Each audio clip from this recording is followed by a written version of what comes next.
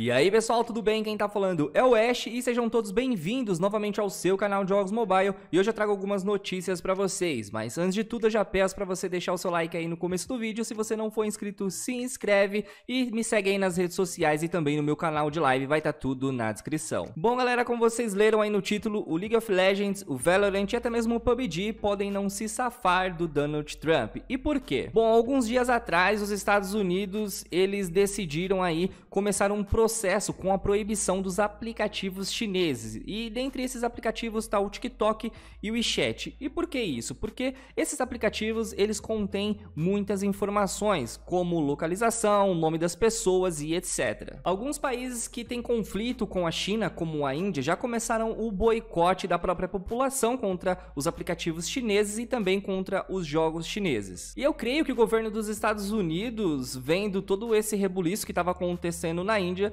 decidiu aí também entrar nessa onda. E ontem, dia 18 de agosto, o presidente dos Estados Unidos, o Donald Trump, decidiu finalmente avançar com a proibição ao TikTok, adicionando também algumas ameaças. E ele diz que também vai banir o WeChat da gigante chinesa Tencent. E se você não conhece a Tencent Games, estamos falando aí da dona de vários jogos como League of Legends, Valorant e PUBG. Mas muitos especialistas estão com receio e estão falando que isso pode vir a acontecer nas próximas semanas. E antes que você estranhe e venha me perguntar, Ash, o League of Legends e o Valorant, eles não são da Riot Games? Sim, eles são da Riot Games, que é uma empresa subsidiária da Tencent Games. A Tencent Games é praticamente a dona da Riot Games. Então sim, League of Legends e Valorant são da Tencent. A administração administração liderada pelo Donald Trump quer remover toda a tecnologia chinesa das redes norte-americanas, e isso inclui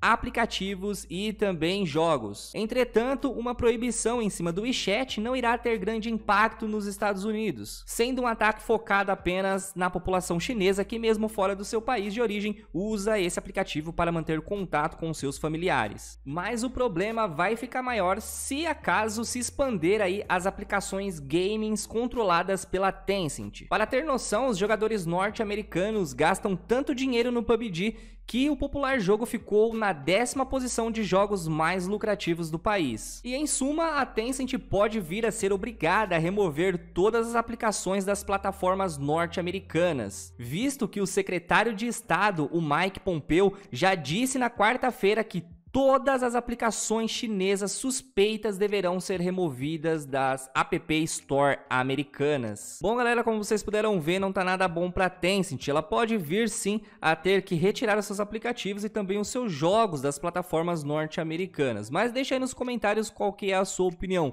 Você acha que o TikTok espiona as pessoas? Você acha que esses jogos podem roubar informações e levá-las lá para os chineses? Deixa aí nos comentários pra gente bater aquele papo. Mas vamos parar de falar de coisa ruim ruim, vamos falar de coisa boa, vamos falar aí da nova TechPix 2020. Não, tô brincando com vocês. Vamos falar aí da data de lançamento do Genshin Impact. Finalmente eles divulgaram a data de lançamento desse jogo incrível. E se você não sabe o que é Genshin Impact, você tava perdido aí nos últimos meses, sei lá, tava morando debaixo da terra, o Genshin Impact é um dos jogos mais esperados para a plataforma de PC, iOS e Android. Tem PS4 também, mas no mobile a galera tá tá esperando muito esse game. Bom, Genshin Impact é um jogo aí de mundo aberto, multiplayer, dá pra você ter várias classes e o gráfico do jogo se parece muito com Zelda Breath of the Wild. E agora aí na tela vai estar tá passando para vocês a nota com a data do lançamento oficial do game. Tá escrito assim: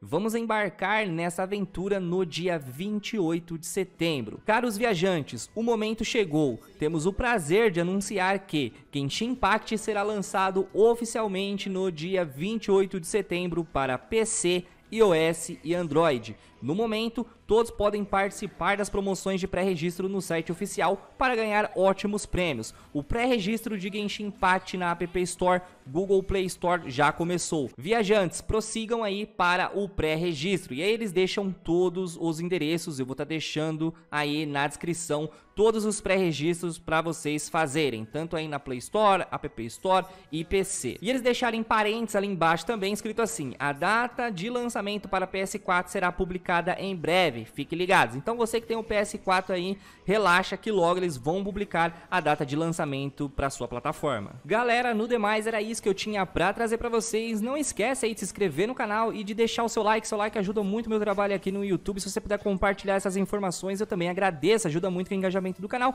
Me segue em todas as minhas redes sociais, tá aí na descrição e o meu canal de live também. E deixa o seu sininho aqui do YouTube ativado para você não perder nenhum vídeo do canal, porque aqui é vídeo novo praticamente todo dia. Eu vou ficando por aqui, valeu, fui!